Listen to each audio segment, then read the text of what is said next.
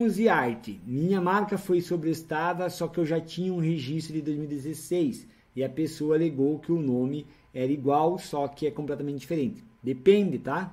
Não sei, tem que avaliar. A palavra artes, dentro da área da classe 41, dentro da classe 35, dentro da classe 42, elas são consideradas termo comum.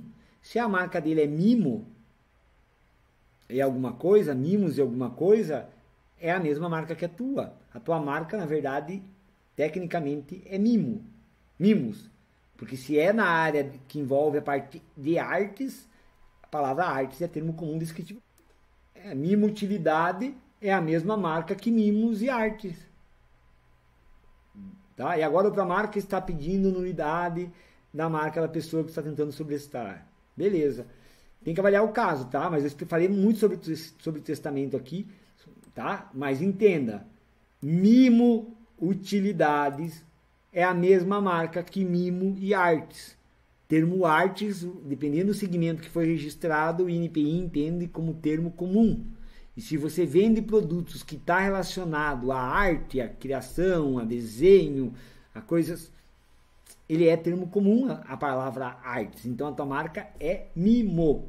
E se a dele é Mimo com dois O, é a mesma marca que a tua. Simples assim. Ponto. Tá? Isso é entender. Utilidade é termo comum, descritivo. Tá? Então, aí a importância de estudar e analisar cada caso. Ok? Agora, se ele está entrando na tua área, você poderia ter feito oposição, essa questão de ter colocado ou não comércio web, tem que avaliar o que, que foi feito o pedido. Tem coisas que não é possível reverter, buscar oposição, fazer um novo pedido, enfim, tem que avaliar cada caso, né? O que eu aconselho, você que tem mimos e artes, é sempre procurar um profissional e avaliar o teu caso, tá? É muito subjetivo o que eu posso dizer aqui. O que eu posso dizer do que tu está me trazendo aqui é, a tua marca não é, a marca dele não é totalmente diferente não da tua. Para mim é a mesma marca. A palavra é mimo, essa é a marca. Tá? Visualmente, de olhar comum, é diferente? Sim.